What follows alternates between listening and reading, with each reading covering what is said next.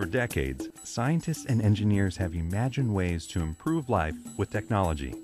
Today, computers are an integral part of our world, influencing the way we listen to music, communicate, take photos, and use information. As computers become more pervasive, the field of computer science expands. Computer scientists don't just sit behind keyboards programming the latest computer games. They're in labs, offices, hospitals, and classrooms, working in nature and around the world, making discoveries and creating new technology. Meet a few of the diverse UW students and faculty who have made computer science their career. I'm a programmer in a proteomics lab.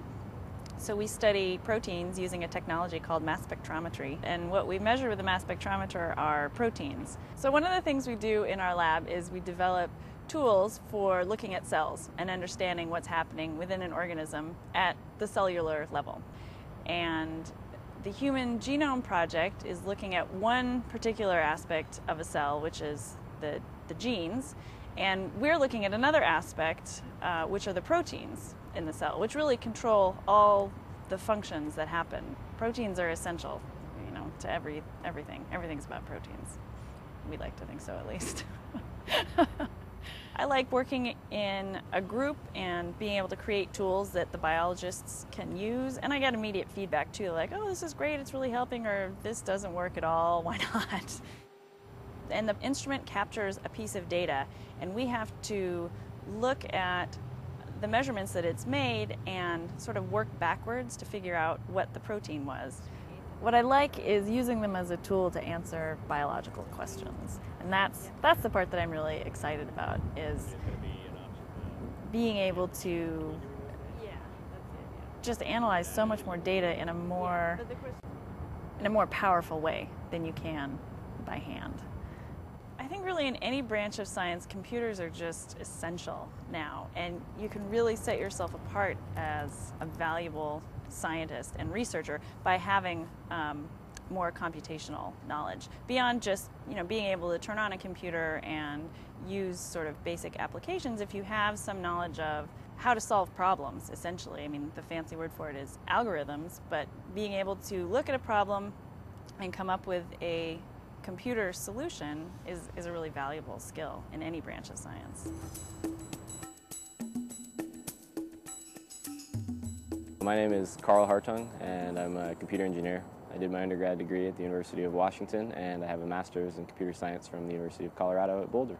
I was working with a group doing sensor network research and people at the University of Montana wanted someone from our group to go and work with them for the summer and I raised my hand and ended up in Montana.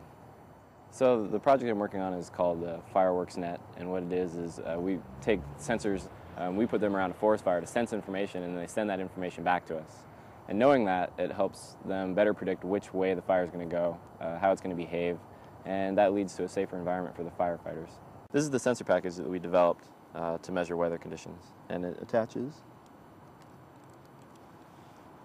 What's really nice about it is uh, we get to go outdoors. Um, and we're actually working out in the woods, putting these sensors out in the woods, so it's not you know sitting behind a desk. Um, I got to fly in a helicopter a couple times while we were doing this to find out what it was that they needed and what they wanted, and then I could build those systems for them. The other thing is I had to be trained. Um, I had to actually go through fire training to do this job, so I actually had to go through all of the basic fire training and become certified as a firefighter. We actually deployed the system on a, on a complex of fires in Idaho, and once it was out, uh, we were able to get all the information uh, about the fire, and then the next day, the fire behavior analyst was able to use it in the briefing in order to let the firefighters know what was going to happen uh, out on the fire today and what to expect the fire to do. In the future, they want to attach these sensors to people actually, and not just throw them out in the woods. And also, they'll be able to determine where the people are in the fire, so that you know if someone gets lost, they'll be able to help help them get out of the fire environment. Computer science isn't just sitting behind a desk all day. You can get out there and you can really make something that can make a difference.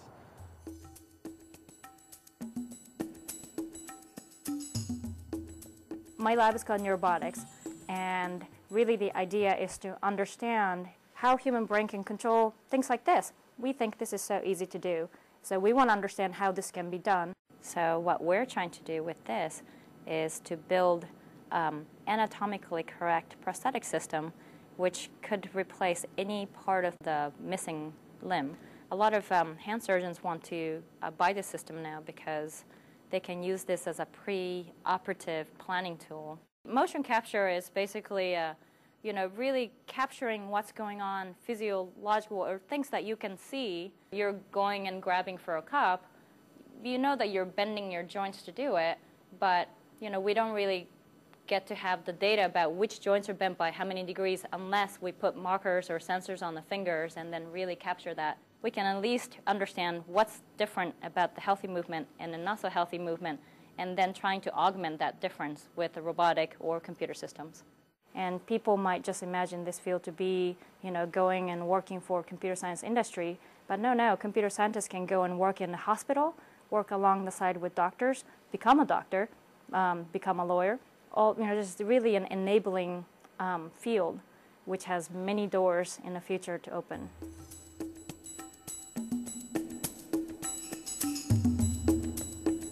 A computer science graduate student at the University of Washington.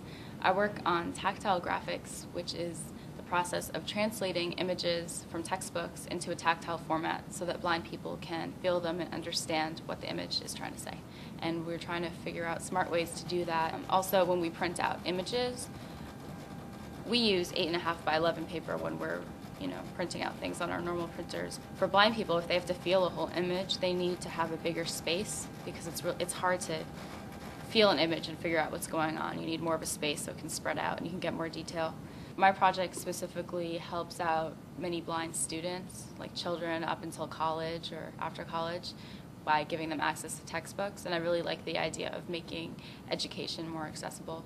We ask two blind people that we work with to get verification on the success of our images. I'll come in to get his feedback on certain images I've produced. I can't tell what makes an image understandable. It doesn't appeal to me too much to just work behind a computer um, updating software, but working with people is really what I'm interested in. Um, working on applications, getting people's feedback on it, working in groups, and that's something that I also think a lot of people don't realize that computer science can be like. It's basically just a field where you're problem solving and you can choose whatever problems you want, whatever applications you want, and then work to solve those problems. I don't know, I think just thinking of creative ways to solve problems, if you're interested in that at all, then it's a really great field.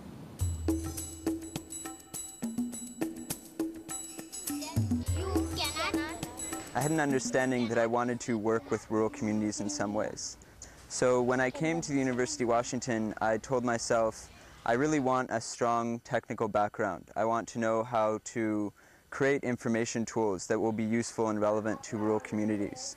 So currently I'm working for Microsoft Research in India and I'm in charge of the digital study hall operations in and around Bangalore. Digital Study Hall is really just trying to address the problems in education in rural and slum communities uh, currently around India. It's trying to build what we call a people's database, which is really a database that we say is built by the people and for the people. And this database is a storehouse for all sorts of educational content.